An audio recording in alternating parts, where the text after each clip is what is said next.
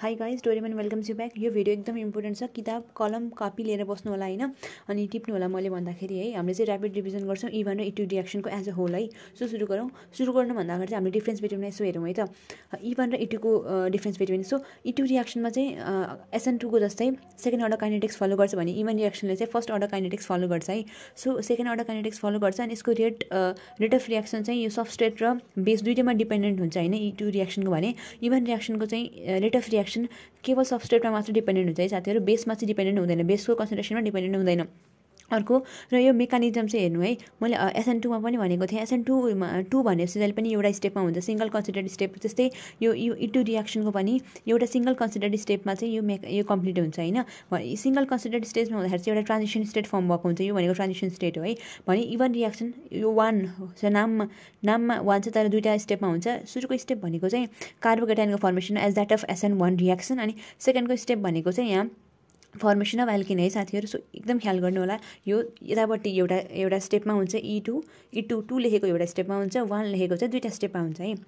SN one र SN टूको जस्तै अब स्टिटोकेमिस्ट्री चाहिँ यसमा चाहिँ टिएसको चाहिँ कोप्लेनर अरेन्जमेन्ट हुन्छ? अब एउटा स्टेपमा हुनेपछि मैले भनेको थिएँ कन्सन्ट्रेट जोमेट्री फलो गर्छ भनेर। र इभनमा चाहिँ सुरुमा आइनाइजेसन हुन्छ अनि कार्बोकेटाइनको फर्मेसन हुन्छ है। मेन भनेको यहाँ चाहिँ कार्बोकेटाइनको फर्मेसन हुन्छ यहाँ चाहिँ ट्रान्जिसन स्टेटको फर्मेसन हुन्छ। कार्बोकेटाइन जहाँ फर्मेसन हुन्छ त्यहाँ रिएरेन्जमेन्ट हुन्छ रिएरेन्जमेन्ट हुन्छ भने यतापट्टि रिएरेन्जमेन्ट हुने भएन है। सो यसमा चाहिँ इन्टरमिडिएट पनि हुने भएन इन्टर नो इन्टरमिडिएट होइन अनि रिएरेन्जमेन्ट पनि हुने भएन। यतापट्टि चाहिँ इट इभनमा चाहिँ कार्बोकेटाइन इन्टरमिडिएट हुने भयो अनि रिएरेन्जमेन्ट हुने भयो। भने अब इटु रियाक्सनमा इटु रियाक्सनमा चाहिँ स्ट्रङ बेस प्रेजेन्ट हुन्छ साथीहरू। बेसिकली स्ट्रङ बेस भने इभन रियाक्सनमा चाहिँ विक बेस प्रेजेन्ट हुन्छ। है गुड सल्भेन्ट होइन विक बेस प्रेजेन्ट हुन्छ। र इभन रियाक्सन चाहिँ हाई टेम्परेचरमा जनरली अकर हुन्छ भने इटु रियाक्सनमा चाहिँ टेम्परेचरको खासै कुरा हुँदैन। इभन रियाक्सनको इक्जाम्पल भनेको चाहिँ डिहाइड्रेसन अफ एल्किन हो भने इटु रियाक्सनको इक्जाम्पल भनेको चाहिँ डिहाइड्रो हेलोजिनेसन है साथीहरू अल्कोहलिक केओएसँग रियाक्ट गर्ने।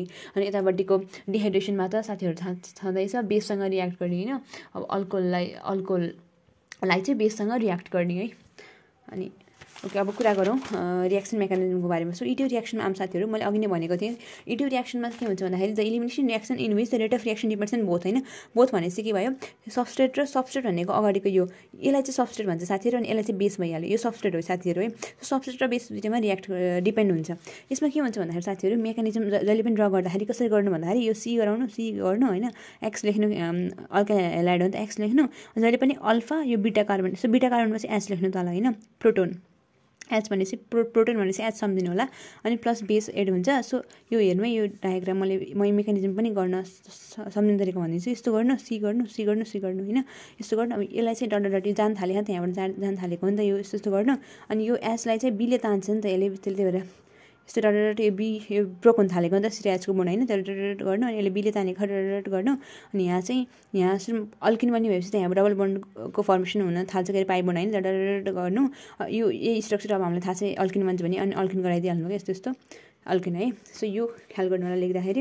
अब हेर्नु है यसमा चाहिँ के हुन्छ भन्दाखेरि यो जुन चाहिँ बेस छ बेसले चाहिँ प्रोटोनलाई कार्बनबाट टाढा तान्छ भनेको यो बेस छ नि यो बेसले प्रोटोन भनेको एच भनेको थिएँ मैले।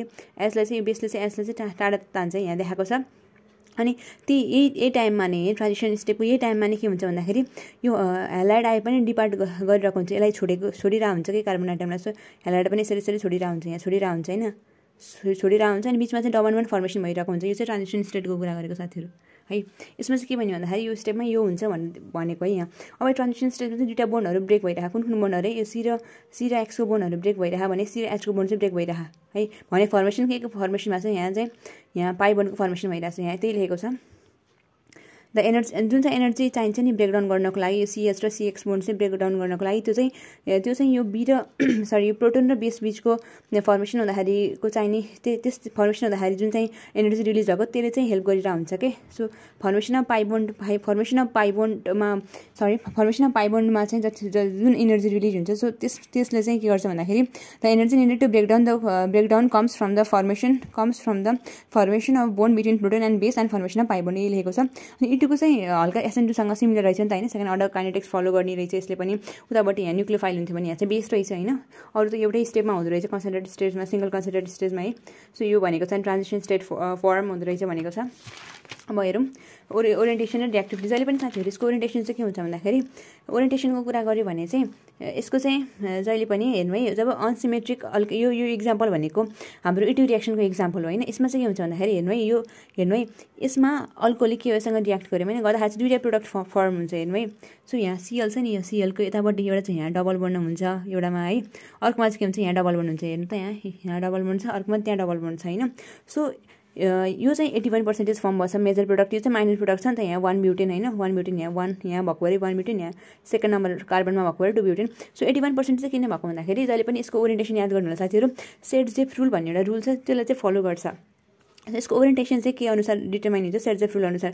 सेर्जेफ रुलले चाहिँ के भनेको छ भन्दाखेरि डिहाइड्रो हेलोजिनेसन हुँदाखेरि डिहाइड्रो हेलोजिनेसन भनेको चाहिँ हाइड्रोजन हटेर हाइड्रोजन हाइड्रोजन हटेर होइन हाइड्रोजन र हाइड्रोजन हट्ने प्रोसेस हुँदाखेरि चाहिँ के हुन्छ भन्दाखेरि यो यो अल्किनको जुनमा चाहिँ धेरै नम्बर अफ अल्काइल ग्रुप चाहिँ अट्याच छ नि। सो ती त्यसमा त्यसमा नै के हुन्छ भन्दाखेरि अनि के अरे त्यो नै प्रिफर्ड प्रोडक्ट हो भनेर भन्छ कि।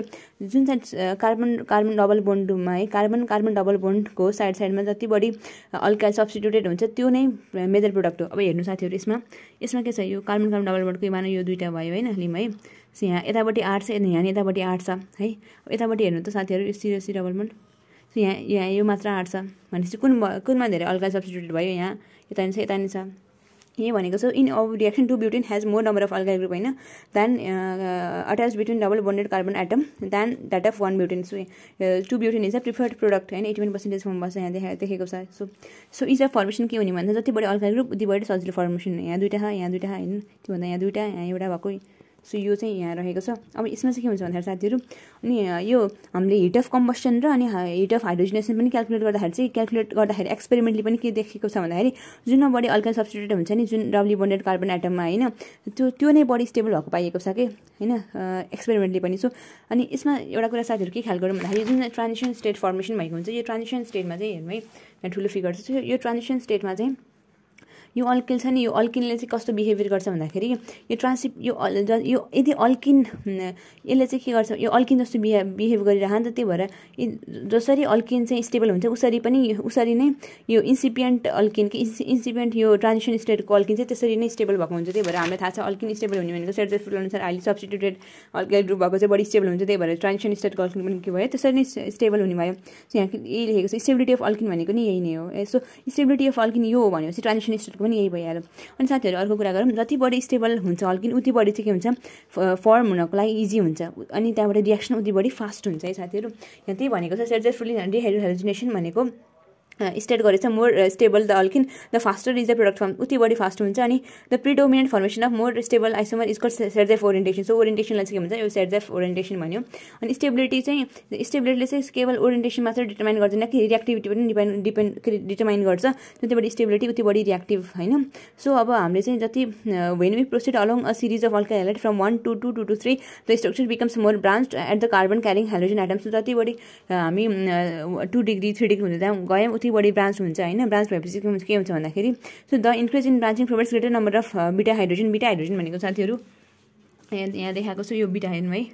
योसँग अट्याच भएको चाहिँ यो फङ्सनल ग्रुपसँग अट्याच भएको अल्फा अनि यो चाहिँ बिटा बिटा हाइड्रोजन। सो उति बढी चाहिँ बिटा हाइड्रोजन बिटा हाइड्रोजनलाई उति चाहिँ बढी बिटा हाइड्रोजनको फर्मेसन हुन्छ अनि त्यहाँबाट इलिमिनेसन चाहिँ के हुन्छ। फेभर हुन्छ leading to the more highly branch alkene अर्कै पनि भनेको होइन साथीहरू सेर्जेफुल फलो गर्छ। ओरिएन्टेसन र रियाक्टिभिटीले सेर्जेफुलले जुन बढी स्टेबल हुन्छ होइन हायर सब्सटिट्युटेड अल्किन भएको अल्काइल ग्रुप भएको सो त्यही नै बढी स्टेबल हुन्छ र त्यही नै बढी के हुन्छ रियाक्टिभ हुन्छ। यति मात्र कुरा छ इटी ग्रुप इटी रियाक्सनमा साथीहरू आई थिङ्क क्लियर भयो होला इटी रियाक्सन होइन? एकचोटि हेर्नु यहाँ। इटी रियाक्सन ओके अब हामी इभन रियाक्सनको कुरा गरौँ। इभन इभन रियाक्सनमा चाहिँ के हुन्छ भन्दाखेरि साथीहरू यस्तो रियाक्सन हो जसमा चाहिँ के हुन्छ भन्दाखेरि रेट अफ रियाक्सन चाहिँ कन्सन्ट्रेसन अफ सबस्टेटमा मात्र डिपेन्ड हुन्छ। कन्सन्ट्रेसन अफ सबस्टेटमा मात्र डिपेन्ड हुन्छ। तर बेसमा चाहिँ डिपेन्ड हुँदैन है। यहाँ दिएको छ rate of reaction directly proportional to substrate होइन? फर्स्ट अर्डर काइनेटिक्स फलो गर्छ यसमा चाहिँ हेर्नु साथीहरू यहाँ फर्स्ट स्टेपमा देखाएको छ। यहाँ कार्बोकेटाइनको फर्मेसन हुन्छ। कार्बोकेटाइनको फर्मेसन हुने बित्तिकै हामीले के सम्झिनु पऱ्यो जहिले पनि रियाक्टिभिटी अर्डर गरेर थ्री डिग्री भन्दा ठुलो त्यसपछि टू त्यसपछि वान है। कार्बोकेटाइनको फर्मेसन सेकेन्ड स्टेपमा चाहिँ के हुन्छ भन्दाखेरि यहाँ चाहिँ अल्किनको फर्मेसन भएको छ है। विक बेस सल्मेन्ट भनेपछि विक बेसको भएको छ। जहिले पनि आरडिएस र डिटर्मिनिङ स्टेज चाहिँ जहिले पनि स्लो स्टेज हो भने तलको तलको स्टेप चाहिँ जहिले पनि फास्ट हुन्छ है। सो अब हेर्नु है अल्का हेललाई अल्का हेलर चाहिँ यहाँ डिसोसिएट भएको छ? कार्बोकेटाइनमा डिसोसिएट भएको छ अनि अर्को चाहिँ हेलाड आयनमा डिसोसिएट भएको छ। अनि जुन चाहिँ कार्बोकेटाइन छ यसले चाहिँ प्रोटोन लुज गर्छ भनेको एच लुज गर्छ। नि त यसले एच लुज गरे लुज गरे अनि त्यहाँबाट अनि to some other proton accept so यसले चाहिँ प्रोटोन एक्सेप्ट गरेको हुन्छ होइन? यहाँ प्रोटोन युज गरेर के भयो C double C bond formation गरिसकेको अरे। सो अब यसको इलिमिनेसनमा E one shows strong sets of orient यसले पनि सेट्स अफ ओरिएन्टेसन सो गर्छ। जति मोर देन भएन more than one alkene is form the more highly branch अल् अल्किन दुइटाभन्दा बढी वान एउटाभन्दा बढी होइन? दुई तिनवटा हुँदाखेरि जुन बढी ब्रान्च छ अल्किन त्यही नै प्रिफर्ड प्रोडक्ट भनेर यसले पनि त्यही भनेको छ यहाँ साथीहरूले देख्न सक्नुहुन्छ। जब C two H five O N A भने यो भनेको विक बेज सो जब यो रियाक्ट भएको छ नि सो रियाक्सन हुँदाखेरि चाहिँ के छ भन्दाखेरि यो बडी सब्सटिट्युटेड अल्किन छ हेर्नु त यहाँ। सी डबल वान सीमा के छ यहाँ? यता पनि छ यता पनि छ होइन? यता पनि छ सो एट्टी टू पर्सेन्ट यो बनेछ भने यहाँ हेर्नु सी डबल वान सीमा के छ? यतापट्टि मात्र छ नि त यता यहाँ त यस छ यतापट्टि आर ग्रुप छ भने चाहिँ यो कम बनेछ है। सो अब यता हेरौँ so in E one reaction the orientation and reactivity are determined by the relative rate of reaction in different step so reactivity determine हुने भनेको चाहिँ स्टेप फर्स्टबाट हो स्टेप फर्स्टमा के भएको हुन्छ भन्दाखेरि कार्बोकेटाइनको फर्मेसन हुन्छ यसले चाहिँ रिएक्टिभिटी डिटर्माइन गर्छ भने ओरिएन्टेसन चाहिँ यो सेकेन्ड स्टेपमा सेकेन्ड स्टेपले डिटर्माइन गर्छ है ओरिएन्टेसनको लागि चाहिँ सो ओरिएन्टेसन चाहिँ इन्डिपेन्डेन्ट हुन्छ नेचर अफ जुन चाहिँ यो पहिलो ग्रुपमा छुट्टिन्छ है अनि साथीहरू अर्को कुरा यति रिया अब रियाक्टिभिटी त मैले भने रियाक्टिभिटी फर्स्ट स्टेपले डिटर्माइन गर्ने भएपछि जति बढी स्टेबल कार्बोकेटाइन उति बढी रियाक्टिभ जति बढी स्टेबल कार्बोकेटाइन उति बढी रियाक्टिभ भनेपछि रियाक्टिभिटीको अर्डर के भयो। थ्री डिग्री यो वान डिग्री भयो के अरे यो भयो होइन भनेपछि जति बढी स्टेबल उति बढी रियाक्टिभ जति बढी स्टेबल उति बढी रियाक्टिभ यदि स्ट्रक्चरले पर्मिट गर्यो भने चाहिँ इभन रियाक्सनमा के हुन्छ? रिएरेन्जमेन्ट पनि हुन्छ। जहिले पनि इन्टरमिडिएट स्पेसिस फर्म भर्छ भने त्यहाँ के हुन्छ? जहिले पनि रिएरेन्जमेन्ट हुन्छ। होइन रिएरेन्जमेन्ट भएर जुन बढी स्टेबल भयो त्यही प्रडक्ट भन्छ so this is all about E one र इटु रियाक्सन है।